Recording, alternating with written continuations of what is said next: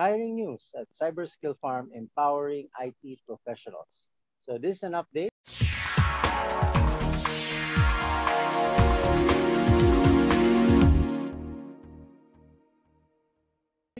So uh, in this video, we're going to uh, go through a list of jobs that are currently hiring in the various companies.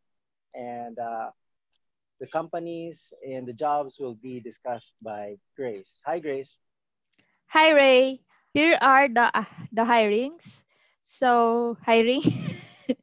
so, uh, in Lexmark, IT security analyst and software developer.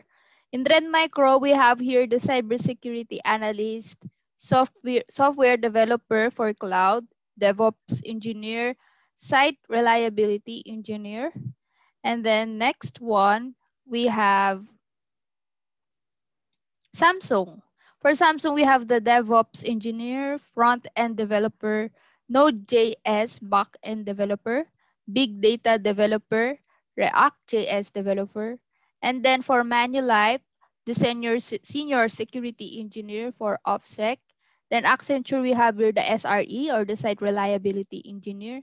And then we have many hiring in TrustWave for the network engineer, security researcher, for email security, security researcher for vulnerability assessment, and as well as email security and malware analysis, senior software test engineer, cyber threat analyst for global threat, cyber threat engineer for global, global threat, information security advisor, information security specialist, technical support associate, tech engineer, and transition manager. So uh, if uh, you want to a direct referral, you can message us at uh, cyberskillfarm at gmail.com. Yes, and um, again, you can go directly to the job career site. That's not a problem with us.